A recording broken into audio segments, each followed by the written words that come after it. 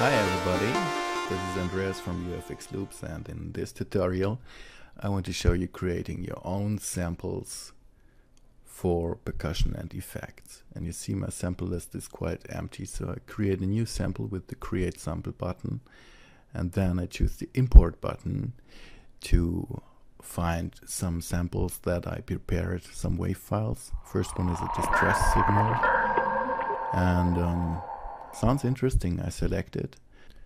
And for this sample, I choose um, 22k import rate and mono import. Um, that will be sufficient. And you see now in the sample editor, you can zoom in with this plus symbol and uh, zoom out again with the minus.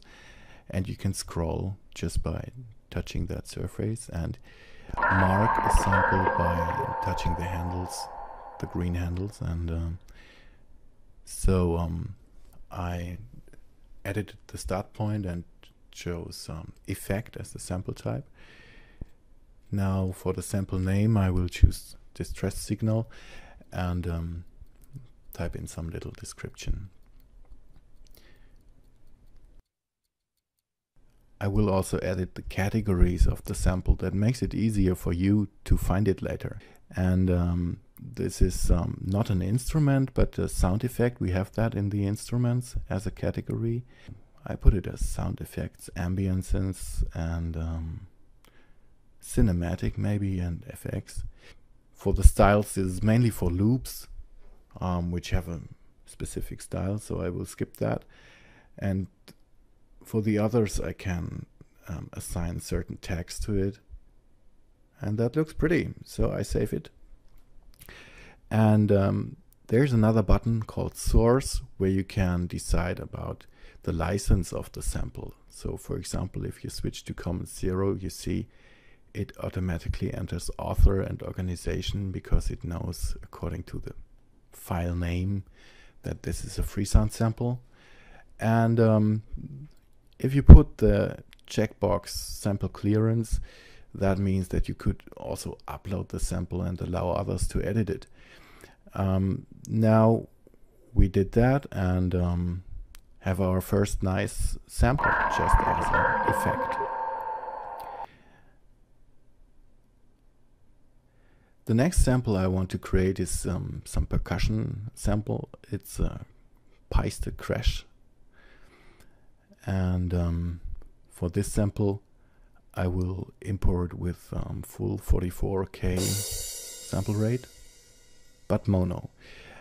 And um, you see it's already perfect. Sample type is percussive. And on the sample data tab now we can select which percussive node that is. And this is a crash sample one, so we can directly assign it.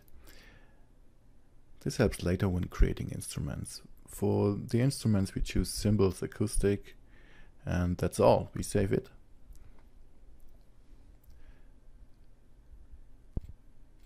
adapt that a bit and uh, save it again where you see you can also save a copy of a sample if you have modified it and want to keep the original. Um, so the next one is um, um, hi-hat which is imported in mono 2 and it's an open hi-hat.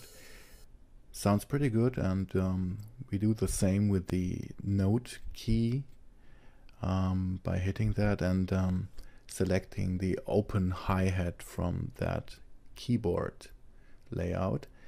Um, and again assigning uh, cymbals acoustic to it. So after a while, um, when we created a lot of samples, our list um, starts to get bigger. However, that was a lot of work. Um, that's why we created a com community where you can simply log on to um, and listen to sounds that are on the community, search for them, and download them by click on the download button and you can rate it and by pressing OK you just downloaded it and uh, you have it in your local sample list and can use it for your own projects. So you see the little UFX icon there. That's because it's from UFX now. Um, next is creating instruments and we want to create a drum set now um, because we made a lot of drum samples and we want to use them in an instrument. We could also use them uh, directly in, in our slots in the project, but um, in an instrument it's nicer because then we can use patterns to play them. So now we fill the drum set nodes with our samples.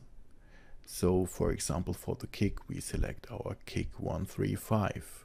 For the snare, we could also search for snare and we see we have that custom snare we created and just pick it. So now let's fill the hi-hats and the right cymbal too.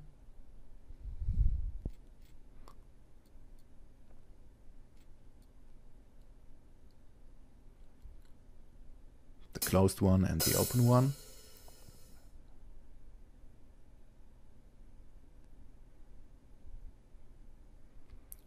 And these will play nicely later in the patterns. Last for now is the right. We can assign a right bell and a right edge.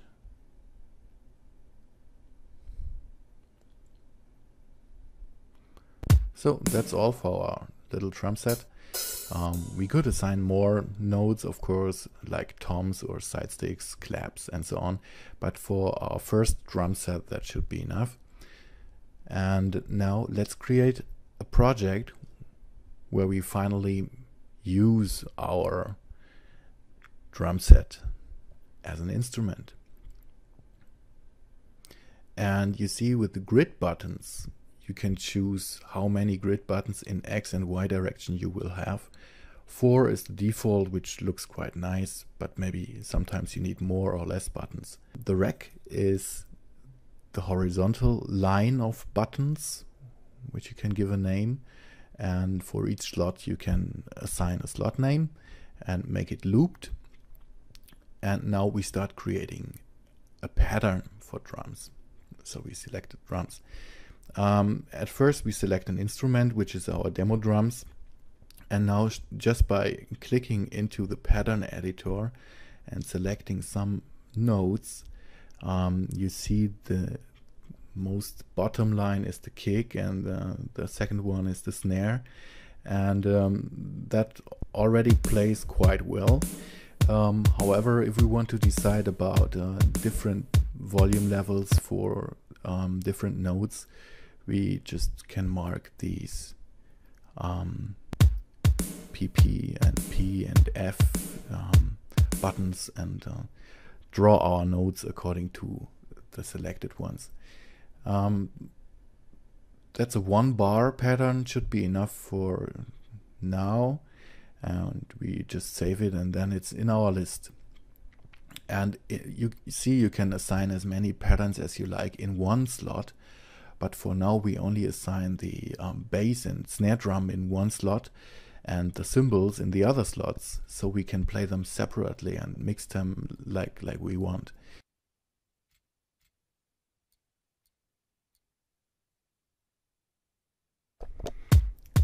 So next thing is we want to build a hi-hat pattern with the second slot. So we click on that one and uh, make it looped again. It should be a one bar pattern and select the drums button again as a sample and slot. And um, we select um, the cymbal section and select instrument and pick our demo drums, which also contains the cymbals. And now you see on the second line we enter the closed hi-hat, um, a simple rhythm, and on the third line from bottom we enter the open hi-hat.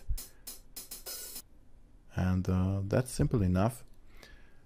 And um, we even could mix that with our drum section and play it together but as I mentioned before, we want to stick with the hi-hats only on, on that pattern. So um, we have separated slots for the cymbals and the drums. So when we save this, you see I also made a, a right slot. That's your homework. And um, that one is also quite simple, just a four bar, um, uh, four beat hi-hat um, with the bell on beat one. And now we want to mix the slots. And you see, we could do that in the mixer. But as this is a drum set instrument, it's better to pre-mix that instrument. So um, just go into the instrument and, um, for example, scroll down to the hi-hat section. And um, um, for example, you want to have the hi-hats more on the left side of the stereo pan. So um, we put it a bit on the left side and also um, reduce volume a bit so the hats don't come into um, annoying. And when you're confident with it, um, just go back. It's automatically saved. Don't worry about it. And for your final mix, you can still use the mixer tab in your project. Now there's one last thing I want to show you for this tutorial and this is we will add one last slot for the crash cymbal and we won't use the drum set just to demo how you can also add samples alone without using an instrument and then directly select sample and now we can pick any sample and we search for the crash and select it. And when we click on it, we can edit um, how many times in how many loops it is played and how many bars it has and so on. And we will set it to um, four slot bars with uh, four total loop bars in this slot bars. And um, the note length is also four bars. Um, oh, I set it to one bar now. So um, you will hear it, it comes every bar, but now I change it to four bars. And I also change the pitch to um, plus one semi-note, and um, that um, will just pitch the crash cymbal a bit up. That's all for this tutorial, thanks for watching, and in the next tutorial we will have a look at the melodic stuff and the loops in uFXloops. See you!